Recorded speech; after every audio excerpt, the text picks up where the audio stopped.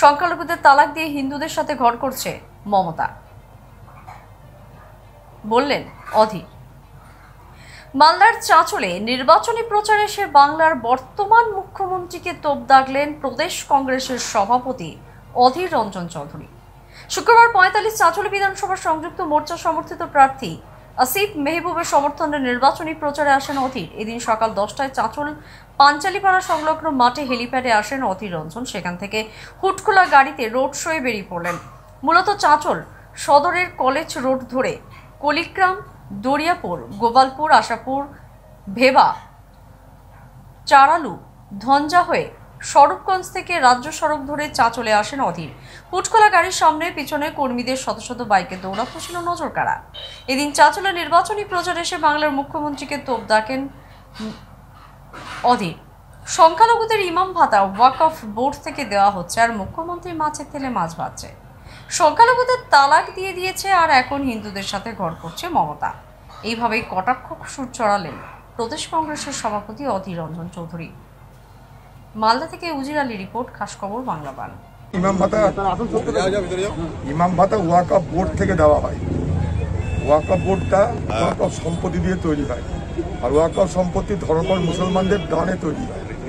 মমতা ব্যানার্জি মাছের তেলে মাছ ভেজেছেন, গঙ্গা জলে গঙ্গা পুজো করেছেন। ইমাম ভাতা মুয়াজি ভাতা দেওয়ার নামে মুসলমানদের করার চেষ্টা করছেন। তাদের সামাজিক অধিকার, আর্থিক অধিকার, রাজনৈতিক অধিকার তিনি দেননি। তাই পশ্চিমবঙ্গে সাতাত্তর সালে সরকারি কর্মচারীদের মধ্যে নয় শতাংশ মুসলমান ছিল। আজ নেমে দাঁড়িয়েছে এক দশমিক পঁয়তাল্লিশ শতাংশ। পশ্চিমবঙ্গের মুখ্যমন্ত্রী মুসলমানদের তালাক দিয়ে দিয়েছেন এখন হিন্দুদের সঙ্গে ঘর করছেন। তাই তিনি নিজে বলেন, আমি ব্রাহ্মণ, তিনি নিজে বলেন, আমি চণ্ডী পাঠ করছি, তিনি নিজে বলেন, আমি মন্দির বানাবো। তিনি এখন আর নামাজের কাতারে দাঁড়ান না। তিনি এখন আর আল্লাহ আকবর বলেন না। তিনি মুসলমানদের তালাক দিয়ে এখন বলছেন, আমি হিন্দু, তোমাদের দুর্গাপুজোতে পঞ্চাশ হাজার টাকা দেবো। আমি ঈদের সময় পয়সা পয়সা দেবো না।